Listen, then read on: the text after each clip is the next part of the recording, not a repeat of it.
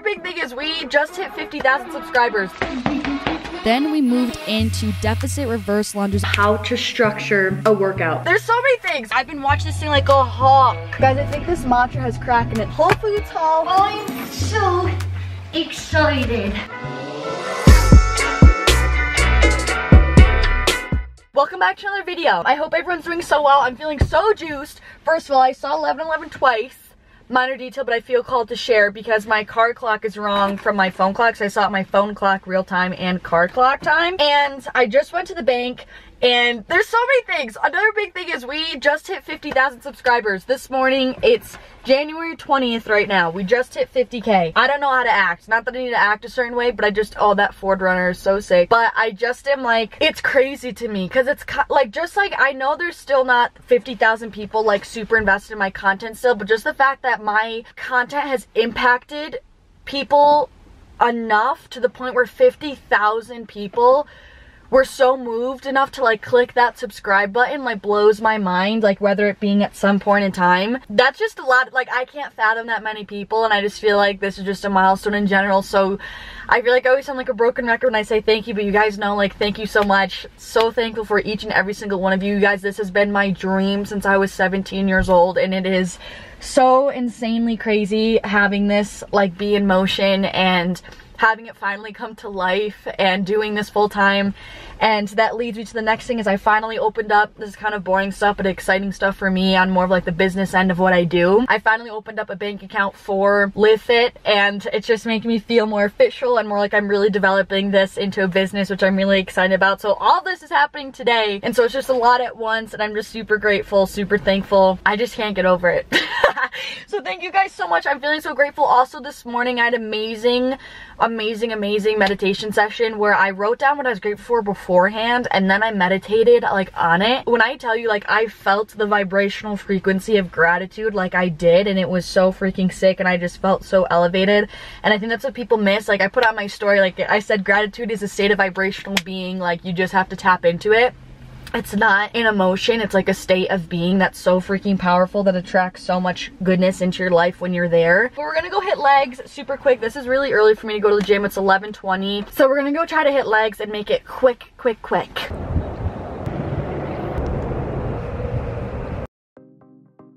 All right, welcome to the workout. So, of course, we're starting off with some foam rolling.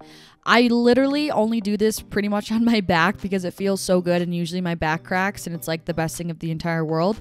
So foam roll for a little bit and then I'll do some dynamic stretches, which you guys have definitely have seen all of these things before. I mainly focus on hip openers, especially a day like today because this is mainly a quad focused day, quads and glutes. And I'm also definitely going to be squatting today. So when I know that it's going to be a quad focused day and there's going to be more movements where there's more hip flexion, I definitely make even more of an intention to do some hip opener mobility exercises. So that's mainly what you're seeing here to get my hips ready for all the squatting motions and things that I'm going to be doing today. So this whole warm up routine usually takes me anywhere between like 8 to 10 minutes. Honestly, usually not very long, but it just gets me ready for movement and like I said, we were doing squats today. So this is only my second or third time squatting since breaking my wrist because I haven't really been able to have a bar over my back. So I've been working back at it and trying to get my form down again. But I always start with warm up sets as you're seeing here. So I just started with the bar, then I moved the height of it just because it was a little bit too high for me. And then I popped on 25 pound plates and then I did this for probably anywhere between like five to 10 reps. You don't want to do too much with your warm up sets because you don't want to exhaust your muscles already. You just want to get get them warmed up and get the blood flowing. So then I popped on 35 pounds, tried to see how that felt, try to get the form down with some heavier weight again for like five ish reps here. And then I put on my working weight. So here I did 155 pounds for four sets of eight, which honestly, I was stoked about this because last time I squatted, I worked up to 145, but I was able to do 155 for my working sets all the way through for all four sets. So, in terms of form here, I have the bar you don't want it to be too high where it's on your spine. That's what's going to cause neck pain. So it's right on my traps, if you will, or my back muscles. So that's really important. I have my hands in a comfortable grip, not too close to my face and not too far wide out. It's kind of right above where my elbow would naturally sit. And I always say this with any squat you want to sit back and down like you're sitting into a chair. So I always initiate the movement by pushing my hips back and down. I'm keeping my neck in line with my spine throughout the whole movement. I'm not looking up. Um, that's just going to cause some stress on your your neck and with your spine. When you're sitting back and down into that chair, when you're lowering into the squat, I personally like to shift my weight onto my heels and then I'm driving up through my heels, through my glutes, and through my quads to push me up out of that movement. Pushing up through your heels, like I'm saying, is definitely going to make this more glute focus, which is always my focus. And what's really important is depth here. Don't worry about hitting ass to the grass. That's really going to come down to everyone's individual ankle mobility and hip mobility. So as long as you're having your thighs come parallel with the ground, that is considered a full complete rep. As you can see, I don't have very good hip mobility, so I just kind of stop parallel with the ground. Still working on my form here with this. Always am working on improving, but those are my main pointers for you guys. Then we moved into deficit reverse lunges on the Smith machine. These things are freaking brutal, but they're a beast and they're amazing. So I did four sets for, I did eight reps the first three sets, and then the last final fourth set, I was just going crazy and I decided to do 10 reps. I was like so in the zone here. But these are absolutely insane because the range of motion is just so deep. So, same thing with any sort of lunge or like a Bulgarian split squat, like I always tell you. You're going to sink, sink back and down into the lunge. You want to place your feet so that your knee is stacked directly over your ankle and your shin is going to be able to remain vertical throughout the whole movement. This is going to make this lunge more glute focused, which is again what my goal always is. So, that's what I'm doing here. I'm also coming forward with my torso and leaning forward just to scotch to increase that stretch in my glutes, increase the range of motion and again make this more glute focused. So again, what's really important is you don't want to be crowding and crashing down on your toe when you come down. That's why I always say back and down. As long as you're keeping that shin vertical, just know you're in the clear and that's going to definitely be more glute focused. Of course, make sure you're keeping your core nice and tight and that you're driving up through your heels for every single rep here. The reason why I'm on a block is just to create create a larger range of motion because there's more for me to go through with that elevation on my front foot. Increasing that range of motion is just going to increase the time under tension for your muscles and therefore increase the difficulty and intensity. So it's so good. You're definitely going to feel this in your glutes, in your quads. It's going to make your inner thigh sore. Another quick thing is to make sure you're not cheating so much with pushing off on that back leg. You really want to focus on driving up with your front leg's heel.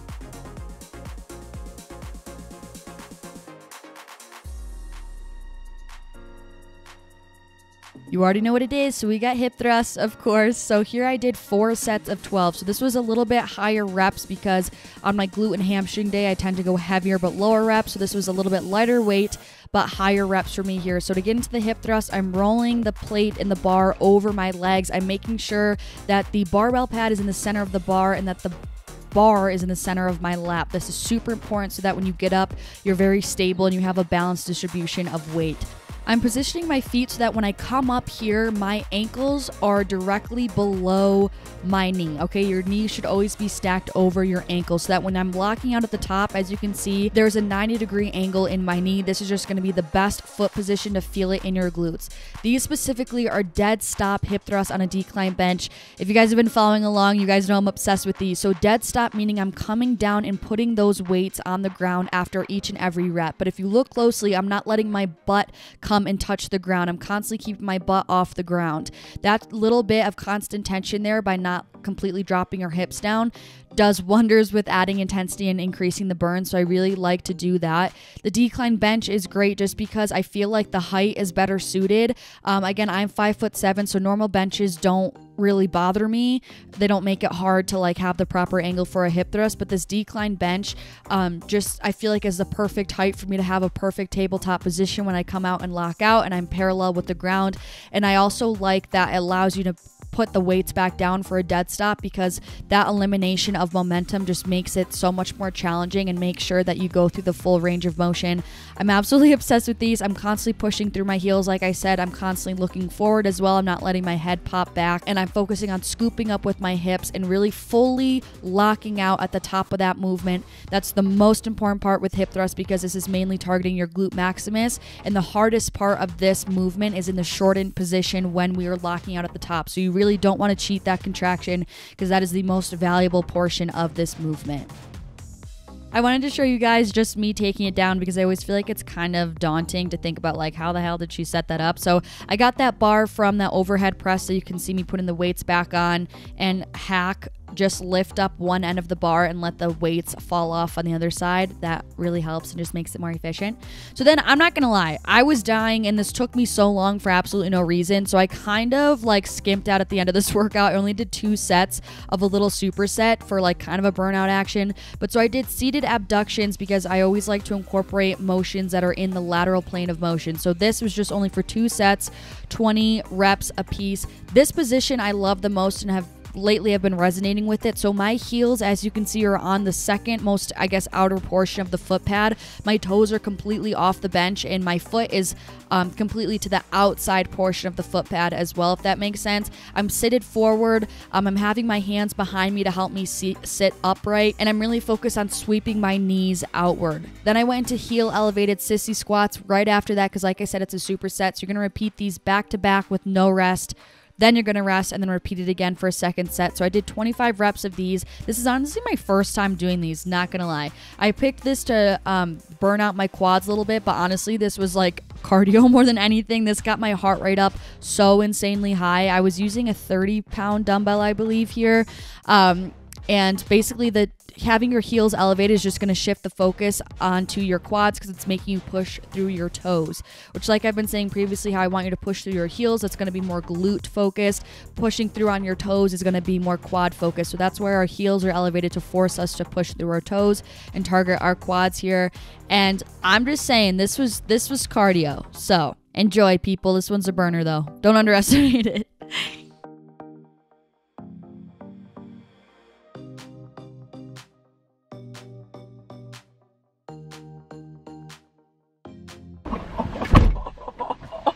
You guys, uh, that was like, listen, that workout was challenging. I'm just gonna leave it at that. It wasn't even like, it was kind of basically like four and a half exercises at the end, but I just went very like hard the first three and I just was wiped and for some reason that took me so long to get through and I didn't even talk to anybody. So I don't know why that just took me like pretty much a full two hours. So much for a quick workout, but I really wanna go get matcha. So we're gonna go get some.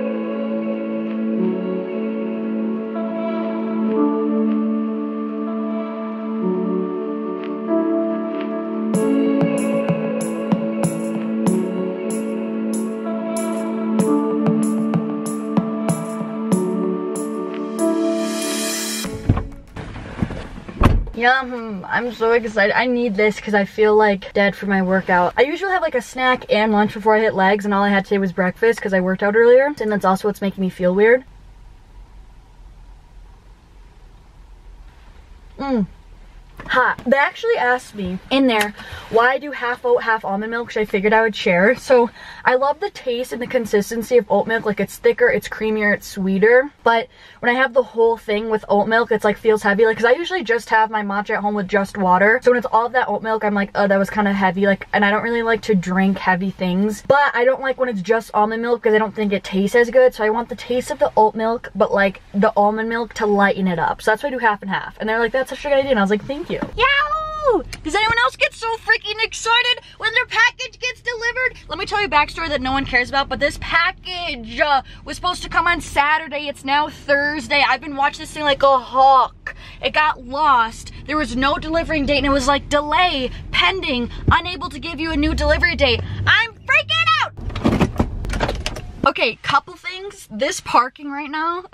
Me and three cars, none of us are even remotely in a parking spot. First thing. Second thing, someone commented not too long ago. It was a video that I did that was sponsored by Lululemon. And I did a Lululemon like activewear haul ended the video with the Walmart haul and someone was like, Lululemon sponsorship to Walmart grocery shop. Our girl has a wide range. And you know what? I laughed so hard because I literally was like, if there is a comment that fully embodies me at my core, it's that. And you know what? We're gonna do it again. I'm gonna go with my freaking $10 matcha into Walmart to go buy some groceries. Then we're gonna go to Whole Foods to get pesto because I don't trust any of the ingredients here in Walmart. I can never find any without like any vegetable oils or anything like that. Like I want it with olive oil. Pesto is like like jelly. Like when you try to go find like clean jelly, it's like everything is high fructose corn syrup in it or like corn syrup solids. It's like hard to find a clean jelly. Like that's something you have to go to Whole Foods for. Pesto, like you should go to Whole Foods for. I am so hyper this matcha brought me back. Oh, welcome to the party. Another person who can't park like the rest of us. I'm so hyper ready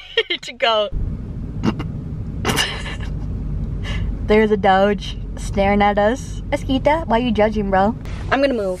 Because we're way too close quarters to anyone. Like, that person who just pulled up, like, wouldn't have been able to even get out of his car. How do you even fit in there? Okay, we gotta get out. Guys, I think this matcha has cracked in it. Yo, we've been skirting.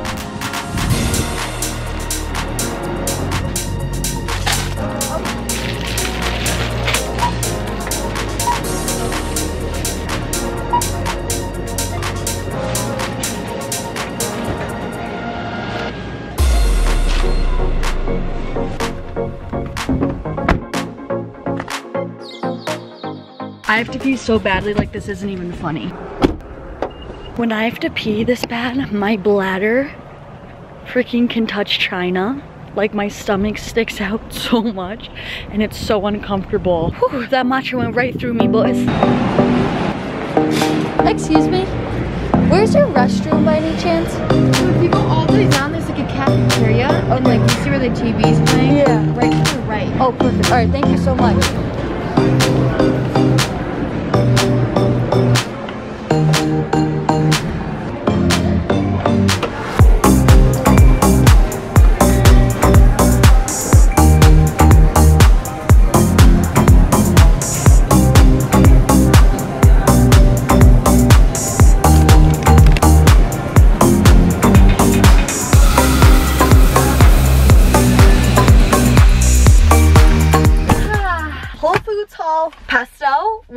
Found one with like minimal ingredients. And Avi, this is simply just for today's lunch because I've been obsessed with avocado pesto, like turkey or tuna sandwiches and sourdough.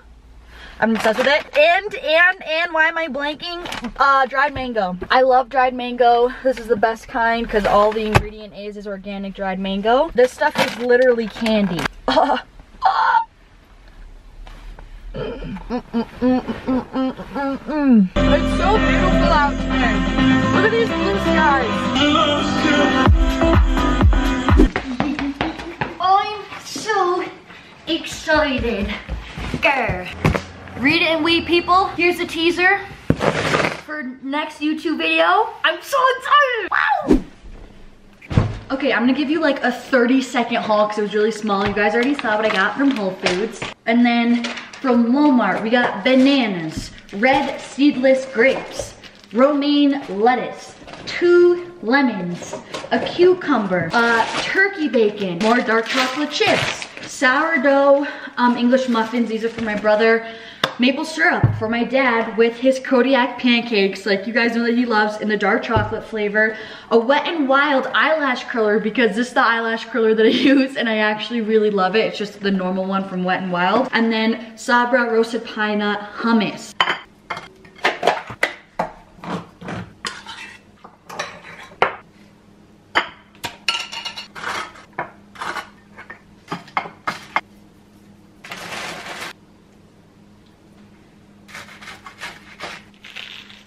Okay, no, it's the end of the video, but I did want to talk with you guys about how to structure a workout because I've been getting questions about it. I've been getting requests to make a video on it. It's really pretty simple, like the main equation that I use to structure a workout. So I'm gonna share with you what I do. Basically, when you start your workout, you wanna start with your compound movements. This could be anywhere between like two and four exercises. Usually for me, it's like two to three exercises within my workout. And these are gonna be compound movements, meaning moves that you can target more than one muscle group with, more than one joint is most likely involved in the movement pattern. And it's usually exercises that can really yield a lot of weight. Like those are the exercises that you can max out on, um, really push your weight and really go heavy and push yourself and really implement progressive overload or essentially just increasing difficulty over time. So those are like your main, that's like the backbone of your workout. You could say that's like your foundation and what you're gonna build off of. So those compound movements are so important. That's what's really gonna help yield you the most progress for sure because you kind of get the most bang for your buck with them. They're the most efficient exercises because like I said,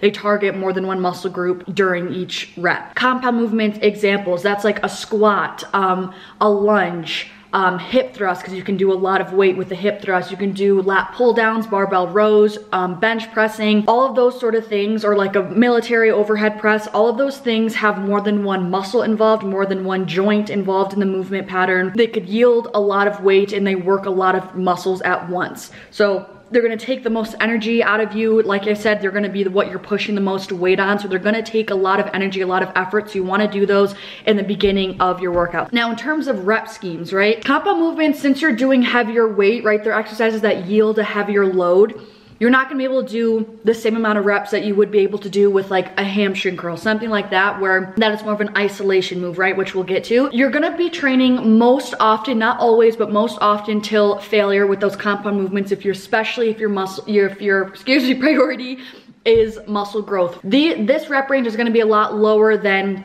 the more isolation movement. So here I personally like to focus on the 8 to 12 rep range. That's a classic hypertrophy or muscle growth range, but plenty of people will train from 3 reps all the way up to 12 reps like I said. The lower end of like 3-ish reps, that's going to be really training for strength more so like muscle size. It's still super beneficial to help, you know, build increase your muscle size as well but that's technically more so like the strength category where usually the sweet spot is a little bit higher rep range in the hypertrophy range. But side note there has been proof that muscle growth can occur at any rep range, whether it's six reps, 12 reps, or 20 reps, just as long as you're really training until failure or at least close until failure. All right, we talked about step one, which is organizing our compound movements. Then you're going to slowly start to be transitioning into isolation movements. Now these are movements that only involve usually one muscle group at a time and one joint is involved in the movement. For example, a leg extension, right? So the only joint that is involved in that hinge is your knee, right? And the only muscles that are involved is are your quads.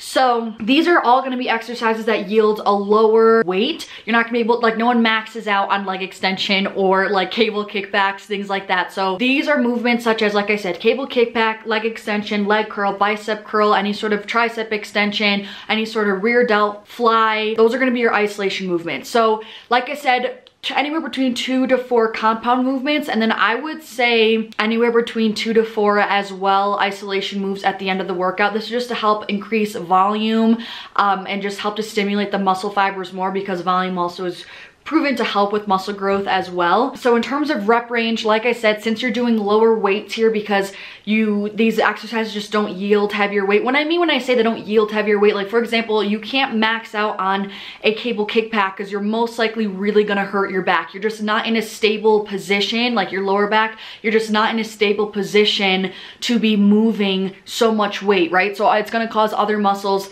to compensate for it and it's you're gonna be very prone to injury. So in terms of the rep range here, this is gonna be anywhere between like, I would say 10 reps, anywhere up to 20 reps, 30 reps plus, depending on if you're using one of these as a burnout situation.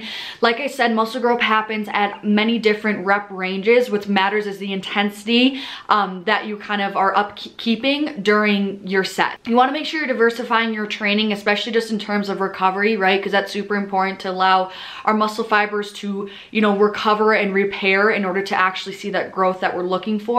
Our muscle, when we train, we actually are creating micro tears in our muscle fibers and then when we eat protein and just eat food in general etc and rest we give those muscle fibers time to repair, grow bigger, grow stronger, and be ready for that heavier load and just more intensity during the workout. So you wanna diversify when you're going to failure. So with those compound movements, most always I'm training till failure, but if I'm feeling really tired and I need like a deload week or something like that where I need to drop the intensity after maybe six weeks of really intense sessions, that is totally a-okay. So in order to kind of diversify, I'll go to failure with the compounds and then maybe stop anywhere between like three and 10 reps of failure um, with those isolation isolation movements. Excuse me.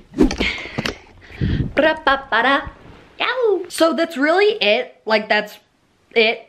like, it doesn't need to be that complicated, but I did want to address burnouts because, like, just in case, I don't do burnouts all the time by any means. They're not necessary. They're not the driving factor of muscle growth at all. Metabolic stress or like the pump and the burn that you feel that does contribute to muscle growth for sure. So that's when those burnouts would be um, beneficial. But progressive overload, like I'm saying, constantly trying to up the weight, sets, or reps with those compound movements, those are for sure going to be the driving forces um, of your muscle growth, as well as like making sure your nutrition is on point and all that sort of stuff. You can implement burnouts but don't feel like you absolutely need them. I usually use burnouts when I'm like short on time and I just kind of want to really burn out the muscle before I leave and like really build up that metabolic stress like I'm saying because I don't have enough time for like higher volume with the other, other exercises. Welcome to my office. This is my office chair. This is where I sit to work, you know? I used to be so good at accents, you guys. Like Australian accent, no problem. French accent, second nature. I can't do any of them anymore and I'm like sad. I like start to speak I'm like, what was that? Anyway, I did also want to touch on supersets, trisets, circuits, etc. Don't take, like, I don't know everything. I'm to be the first one to admit that. I don't know everything. There's plenty of more experienced trainers, but I am a certified personal trainer for the past like two and a half, three years. I've been training for five to six years, so I do know from experience and like my own pieces of knowledge. But with those supersets and trisets and circuits, the main benefit of them, well, I guess in terms of like just for convenience factor, they're obviously a lot more time efficient. They're basically a superset, triset, and circuits, just essentially meaning you're not resting until you complete all of the exercises that you have in that superset, triset circuit. Then you rest and then you repeat it. So it's just saving time because you don't have to account for two different rest periods for your exercises or however many exercises you have in there. But it also increases intensity, which is also a factor of progressive overload because you're decreasing rest times. So it can help in that regard. Again, I mainly will superset two exercises together when I'm short on time or if I feel like I'm kind of maxed out on the weight that I could use optimally, then I'll superset it with something else to keep up that intensity, that sort of thing. Don't feel like you need them. Definitely, especially if you're a beginner to the gym, focus on just nailing those five to six exercises that you chose for your workout before getting fancy and like adding supersets and stuff like that. It also helps with like adding more of a cardiovascular component as well, like the end of the workout I just showed you guys now. Supersetting those two things like definitely got my heart rate up. Now we're on the In terms of how many exercises to do total, I mean, I kind of already gave you the range, but like leg day can be anywhere between like four and six exercises, maybe seven. I used to do like eight to 10 exercises, which is just like, that's when you're, if you could do that many exercises, that's just what they call junk volume because clearly you didn't have the intensity and intention with your original exercises that you did. So anywhere between four to six is ideal. Maybe you have to squeeze in a seventh if you're doing like a burnout or something. And for upper body day, it depends, but I would say again, anywhere between like five and eight. Upper body depends on your intensity. I can do closer to like seven or eight exercises in my upper body days because I'm only hitting upper body once. So in order to appropriately like hit enough adequate volume for the week, it's kind of necessary for me to do that, that, that many exercises. And also because I am trying to hit every single muscle group in just one day. This is kind of fun because I'm jumping around my room. But last thing I want to touch on is training frequency. So again, this is gonna really gonna, gonna come down to your split, which I have plenty of week of workouts videos and I actually did a whole video on which split is best. So I have about like four different splits in that video that you can maybe choose from for what best suits you. But again, it really depends on your overall, like how often you're able to get to the gym in the first place. But adequate volume is training each muscle group anywhere between like one to two times a week, maybe three times a week. The only time I would say three times times a week is like if you're going to the gym only three times and you're doing full body maybe every single time that week, that would be an example of that. But more often than not, it's gonna be hitting each muscle group about one to two times in a week. I just talked so fast. I'm like on, I feel like an Energizer bunny in this video. I'm sorry. All right, you guys. So I think that's everything that I have to share with you about how to structure your own workout. If you still have any other questions for me, feel free to DM me at Livfiit on Instagram or comment down below. I'll definitely get back to you or I'll just keep it in mind for when I talk about this again in another vlog. But I feel like those were definitely the basics. I think I got everything. So hopefully you guys will be all squared away and all set to start, you know, setting up your own workouts and stuff. With all that being said, thank you guys so much for watching. Thank you guys so freaking much for 50K. I'm gonna be honest, it like hasn't set in. Like I, it hasn't processed. I don't know how I'm gonna say thank you on Instagram. I don't, like I just, I just don't know what I'm gonna do yet. Like I knew this was coming, but I just still was like, I don't know, I need to process it. But thank you guys so much for all of your love and support. I'm so excited and feel so grateful and honored and privileged to be able to do this job. So I'm sending you guys so, so much love and hopefully I'll see you in the next one. Peace out.